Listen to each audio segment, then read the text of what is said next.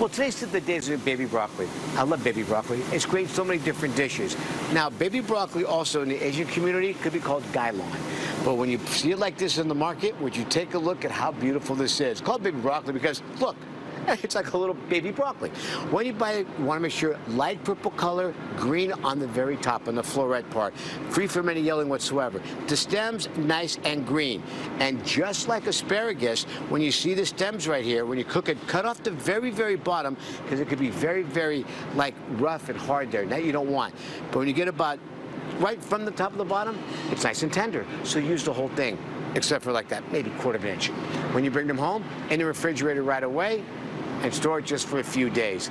And by the way, baby broccoli, just like broccoli, is a superfood. Great for you, loaded with nutritional value. And I'm Tony Tantillo, your fresh grocer. And always remember to eat fresh and stay healthy.